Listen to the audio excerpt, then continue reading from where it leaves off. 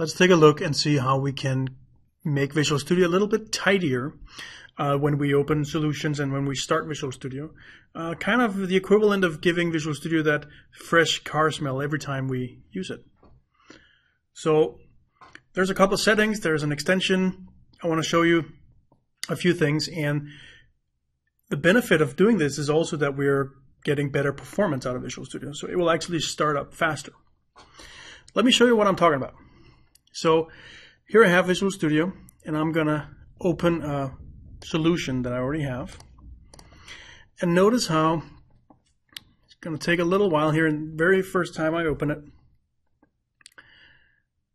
And we see that it remembered what documents I had opened the last time, which one was selected.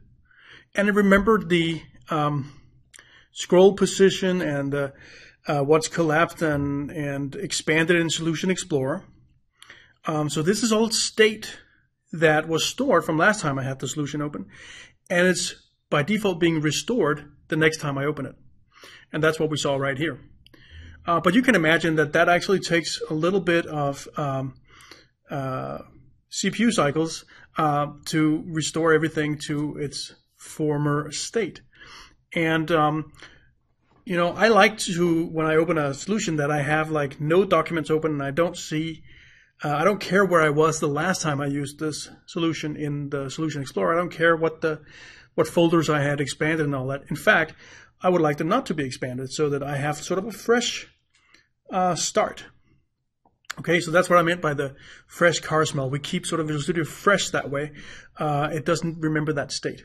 Now, this might not be a scenario you prefer, but it's one that I prefer. Um, but I'm going to show you how you can uh, change this default behavior.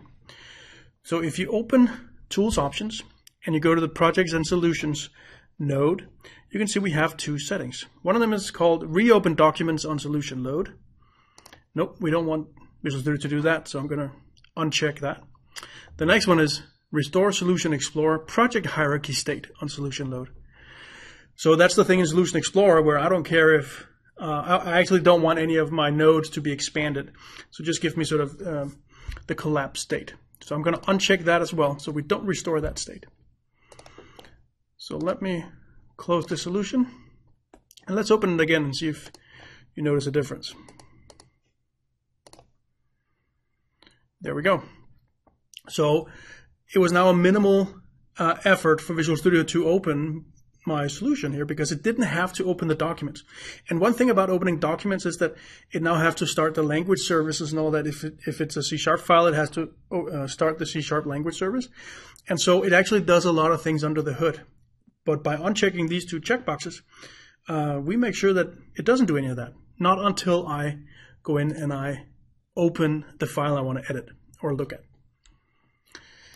So that's a really simple way to keep Visual Studio fresh and clean and tidy, uh, and at the same time get some performance benefits. And this is on the solution level. Now, there's a thing we can do on the um, sort of uh, the shell level, Visual Studio itself, the global level, which is um, has to do with tool windows. So, if you're like me, you use different tool windows for different scenarios, and sometimes you end up having like a bunch of tool windows here docked at the bottom next to the error list and the output window. Um, and sometimes uh, they're visible. So in this case, um, maybe the output window is visible, maybe the error list, uh, and maybe I, you know Team Explorer is the one that's visible when I open Visual Studio. But usually that's not what I'm interested in. Usually I kind of want to go back to my default when I start Visual Studio, which is just show me Solution Explorer and maybe maybe also Error List. Like those are the two that I care about the most, but actually just Solution Explorer. So that helps me, um, if I can do that when Visual Studio starts, that helps me keep Visual Studio nice and tidy. And um, there's a performance benefit here in that Visual Studio does not have to create all those tool windows. So what I've done is that I've installed an extension that's called Reset Tool Windows. So you can get that if you go to uh, the Extension Manager dialog and just search for Reset Tool Window. You can do that.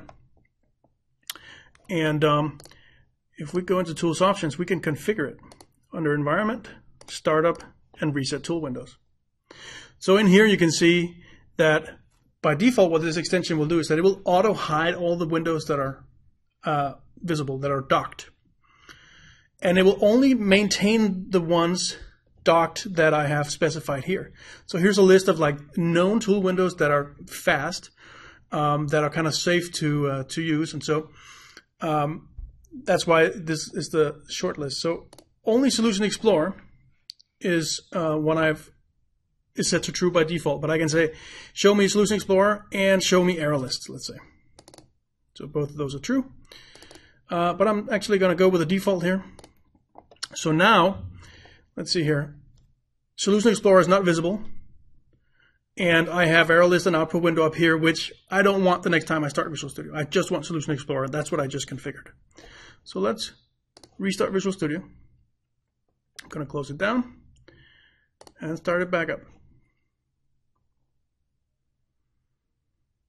And now you can see we're back to a, a very clean, fresh car smell in Visual Studio. Solution Explorer is the only thing that's uh, docked and visible, and everything else has been auto hidden, and I can very easily uh, dock them manually when I need them. But I can configure this uh, to my liking. And so these are three different things, two checkboxes and an extension that allow me to keep Visual Studio fresh and clean and tidy as well as give me a boost in performance.